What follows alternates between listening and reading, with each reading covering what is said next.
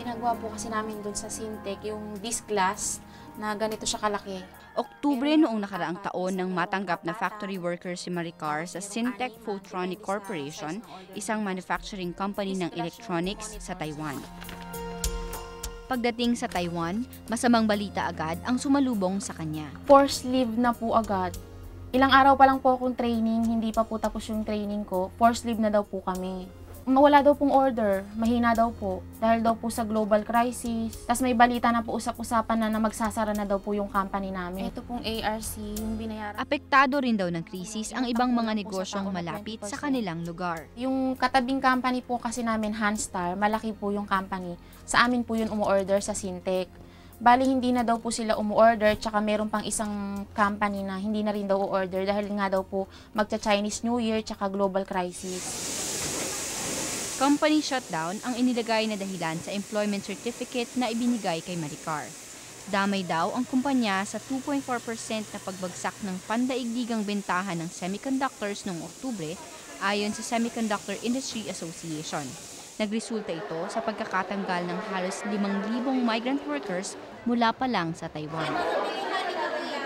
Unang tinanggal sa trabaho ang mahigit isang daang kasamahan ni Maricar noong November 26. Hindi nila inasahan ang sumunod na nangyari. Kung nagulat kami na wala pang 24 hours nakakauwi yung first batch, in-announce na rin na pauwi na rin po kami. Yung contract po namin, 2 years plus 1 year extension. Binigay sa amin yung kopya. Sina- pinaliwanag po sa amin na ang sisweldohin daw po namin doon monthly, 17,280 NT. Pag kinonvert nyo po sa peso yan, 23,500 something.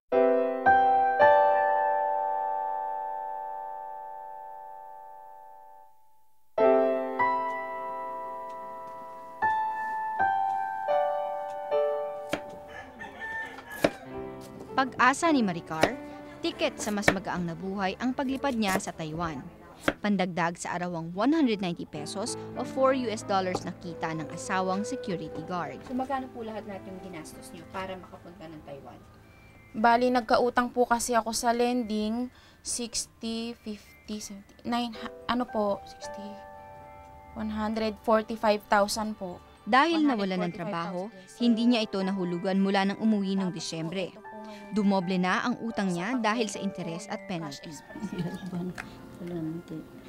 Pero higit sa utang, mas mabigat raw ang isinakripisyo niya para sa pamilya, lalo na sa tatlong anak noong nilalakad niya pa lang ang application sa Taiwan. Kailangan po magkalayo kami ng mga anak ko. Kailangan namin silang dalhin sa Pangasinan, sa probinsya po, sa mga biyanan ko. Kasi kung nandito po sila, hindi po maasikaso.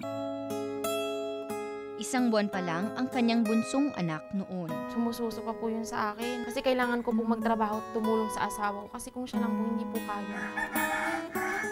Mag-iisang taon na ngayon ang bunso ni Maricar. Hanggang ngayon, hindi pa rin nagkakasama-sama ang pamilya. Sabi po nila, kailan daw po kami uuwi. Yung po ang sabi ng anak ko, napaiyak po ako nung tinanong ako Sabi ko, anak kasi wala pang pera si mama. Nag-iipon pa. Kailangan kasi pag umuwi ako dyan, maraming dalang pera si mama. Yung binili kong damit sa anak ko, hanggang hindi pa po niya naisusuot. Ipapakita ko po sa kanya to, maisusuot lang niya pag nagkita na po kami. Binibili ko lang po to sa garage. Ito, 15 pesos lang. Ito, 20. Ah, ito po, 30 to. Binibili ko na po siya pagka meron po akong konting pera para po pag nakita kami, meron po akong ibibigay sa kanya. Paano kung nagkita kayo tapos hindi na yan kasha? Hindi ko alam. Siguro isusuot ko pa rin. Pwede naman po to eh.